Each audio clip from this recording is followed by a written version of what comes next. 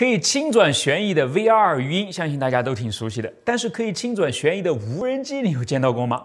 哎，就像这架一样。我很有幸在极飞的黑科技发布会现场呢，见到了这架突破想象的无人机。我是百科全书火箭叔，下面呢我就来讲讲这次充满魔幻的探访之旅。好，现在呢咱就在机场啊，马上就要去广州看黑科技的发布会了。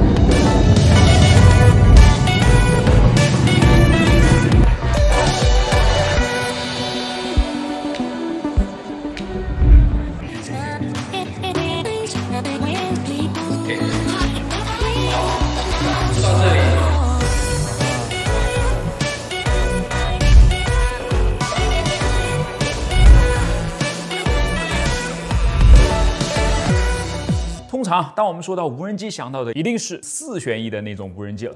为什么无人机基本都长着四个旋翼呢？哎，因为从结构到控制再到算法都是相对比较容易的。正好我上一期讲到了直升机的旋翼在构造上是多么反人类的，而且其实已经讲的是蛮复杂了，但还是没有讲到直升机究竟是如何实现前进、后退、左右移动的。原因就在于它真的是太复杂了，要细讲的话又得要单独再出一期。哎，如果大家真的感兴趣的话，这个倒是可以期待的。而说回到四旋翼的无人机，你去看看啊，它的旋翼和旋转轴的结合部分就简单干脆太多了，可以算得上就是一个硬连接了。那它怎么就能轻松地实现在空中的自由移动呢？哎。这就得益于它有四个旋翼了，而且每个旋翼的输出功率都是可以单独调整的。所以当它想要前进的时候呢，就把前面两个旋翼的输出功率降低一些，而把后面两个的输出功率调高一些，这样它的姿态就会变为前倾，在反重力的作用下呢，就可以往前飞出去了。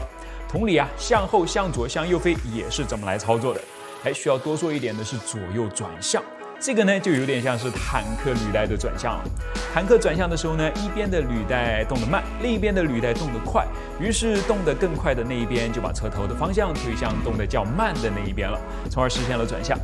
那四旋翼无人机靠的是让与转向方向相反侧的旋翼转得更快，来获得一个与空气之间更大的摩擦力，从而把自己推到另一个方向上面去的。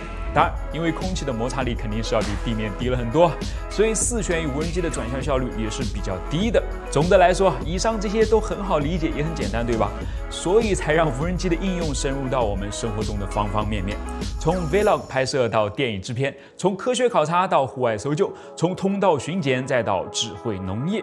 好，既然这四旋翼的无人机都这么好用了，那为什么还要搞两个旋翼的无人机呢？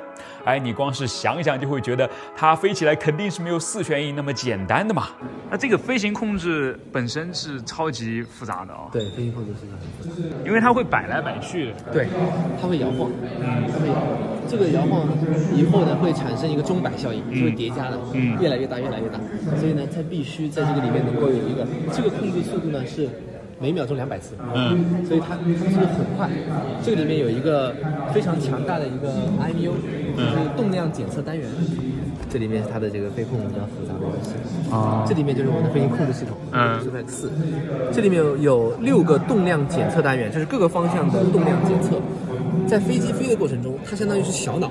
嗯，然后呢，它检测到飞机，比如说倾斜了，嗯，这时候马上告诉以前的四旋翼比较简单，告诉前面两个加速一点，啊，对对对对对，在平缓的过程中，你飞机总能输出功率增加了，所以又会往上升，不对，嗯，要总功率下降，前面两个增加一点点，这就是 PID 算法控制算法，而这个就更难了，一旦当它检测到机头往下坠了。哎，这个时候飞机要怎么控制才能够把飞机平回来呢？嗯，就要控制这个的转向以及风速的变化。嗯，就是转速和倾仰角度的变化。对，这里面的算法就多了一个维度的难度，你要控制角度，而不光光只是功率的输出。以前四选一只要控制功率，功率输出，对，叫做电调，电子调速器。嗯，电调，电调。对，所以那个很简单，而这个呢，除了电调，还有四伏，就舵机。对，舵机，然后呢，角度。对，就有了控制面的这个理论，所以。难度就在就在于此。对，哎，那飞行稳定性上面来讲的话，就这个跟那个四旋翼来讲，就比如说这个加上了那个就是更智能化的算法好，这个会更加稳定，会更稳。它其实是一个吊装结构，两个螺旋桨吊着它，嗯，然后呢，下面只要你控制的够快，上面哪怕风再大再震动，它下面可以完全不动，就跟相机云台上一个道理。啊。对，只只要是它的这个速度够快，对，只要它控制的速度够快，嗯，它完全可以实现底下是不动的。嗯这里面透露了一个未来，这里这里面有一个未来很有想象空间的地方，是有了一个非常稳定的空中平台，它是不是可以实现摘果子呀？嗯，是不是可以实现更加精细的操作？比如说我悬停在那里打结，甚至是捡东西。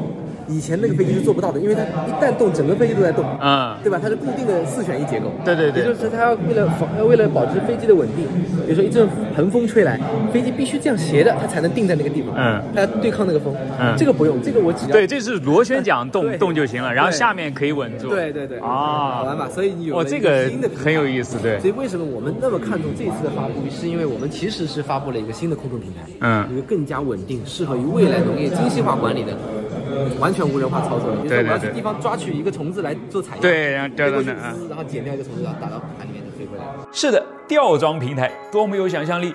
利用先进的算法和强大的算力，使旋翼实时根据环境变化来调整自己的姿态，让吊在它下面的作业平台纹丝不动，从而可以执行非常细致的工作。啊，然后呢，还有这台同样也是颠覆了我认知的农业无人车了，它居然跟终结者都扯上了点关系。本质上，它用的是我们同样的 Super X 的控制系统。我们不是飞完以后对空对地图建完模了，我们知道每一棵果树，其实我们的测绘飞机也是带 RTK 的，也就是说，在你看到的是一张照片或者一张三维地图，但实质上它里面的每一颗像素都有一个绝对坐标点。毫米级的坐标点，这件事情是非常可怕的。你仔细想，比如说我飞机，我这个车上完全不用装任何摄像头和雷达，我的成本可以降到很低。但是呢，它精准的知道在你旁边有棵果树，因为它有对，因为它可以获取那个数据。对啊，它是实时在云端获取那个三维地图三维地图的数据。对，然后呢，它知道这台旁边的多少多少毫米处有一棵果树，然后呢，对准它进行喷洒，农药一滴都不会浪费的。嗯，这就比原来这个人一样了，人最精准，因为人知道果树在哪，然后喷完下一棵，它就跟人一模一样。而且最重要的是，我们跟特斯拉一样，我们不需要在上面装什么复杂的激光雷达，因为一个雷达就十万块。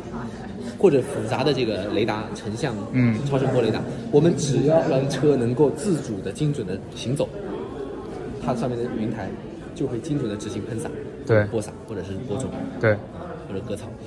所以这个就是本质上还是来自于算法。所以这个东西看上去好像是一台很傻的一个喷雾车，但它本质上是一个非常非常智能的啊就是我们总以为农田里的机器人，它这个就是个机器人。嗯 No，它只是机器人的一根手指而已。嗯大脑在云端。对对对对对，就我们我们没有必要把那个机器人每一个机器人都是弄得那么复杂。对你里面装啊一个什么 N N D，对，都要有都要有眼睛，都要有眼睛，都要有什么不？对你的手指去执行的时候，你的眼睛是它的，脚也是靠这个眼睛，嗯所以我们是一个中央大脑。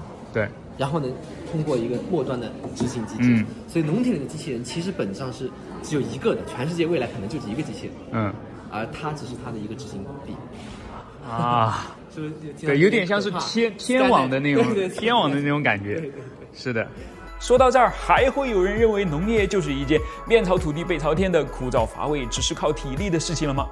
我已经不这样认为了。相反，我觉得农业未来的农业是一件多么酷、多么极客的事情，已经酷过了我曾经非常羡慕的像美国农业那种在巨型的农场当中靠巨型的农机来耕种、收割的场景了。为什么呢？因为这种酷只属于我们中国，跟美国这种一个农场就上百公顷的规模化农业不同啊。中国的农业属于典型的小农经济，受限于土地规模和产值，我们的农业没有办法使用大型的农业机械来生产，所以农产品基本上就是在本地市场流通，很少参与到听起来就相当洋气的国际市场期货交易。这个我们的直接印象就是，中国的农业机械化程度和国际流通程度都远低于像是美国这样采用规模化农业的发达国家。在这里啊，它仿佛永远就是一件苦、累、穷、土的事情。但真可谓是风水轮流转啊！曾经制约我们的小农经济，却在今天这个智慧农业的时代变成了优势。原来就是由于受到了地形条件的制约，在传统农机望而生畏的地方，才给既小巧又智能的无人机留出了施展拳脚的空间。就是因为农户小、规模小，才使得他们既灵活又敏锐，可以快速的适应经济增长带来的消费升级，对农产品高品质和多样化的要求。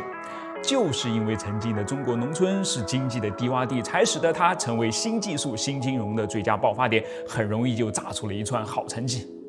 啊，那句话是怎么来说的？广阔天地，大有作为，智慧农业的制高点无疑将会在我们中国出现，我们共同期待吧。我是火箭叔，关注我，把不一样的科学故事讲给你听。